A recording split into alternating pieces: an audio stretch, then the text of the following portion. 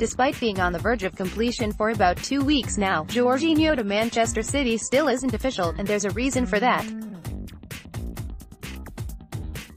On Wednesday, we covered claims from the player's agent, João Santos, who explained the Premier League side were doing everything in their power to please Napoli, with Aurelio De Laurentiis known to be a tough negotiator. Wanting to get the best deal out of the sale of their star midfielder, the Serie A club appeared to be squabbling over a handful of millions, but that could all be resolved very quickly.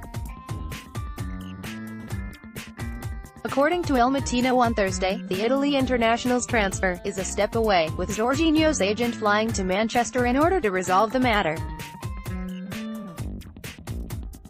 Embed from Getty Images The deal will then allow the Serie A club to complete the signing of his replacement, as Betis Seville's Fabian Ruiz is expected to pass his medical early next week after agreeing a 1.6 million euros per year deal, with the La Liga side pocketing 30 million euros.